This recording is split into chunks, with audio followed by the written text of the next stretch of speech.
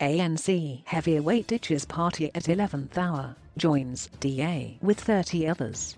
ANC heavyweight in KwaZulu-Natal who has had enough with the ruling party, defected to the opposition, Democratic Alliance at an 11th hour.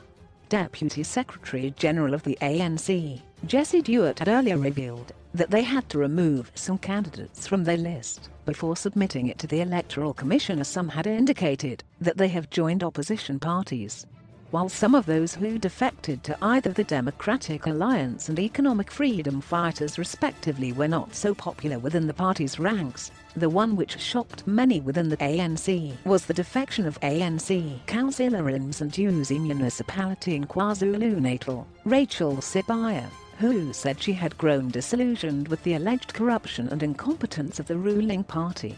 Soobiah was revealed as the DA's ward councillor candidate for Northdale's Ward 30 in Msunduzi during a press conference in Durban.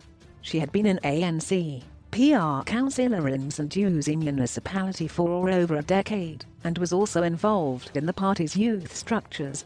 Democratic Alliance revealed in a statement that Rachel Soobiah had indeed joined their party along with 30 others who have had enough of the ruling party's incompetence and numerous corruption allegations. Under the failing ANC, the municipality of Msunduzi has been in a state of collapse for many years, including being placed under administration. The momentum behind the DA in KZN is growing every day, and the local government elections are shaping up to be a hot contest in the province.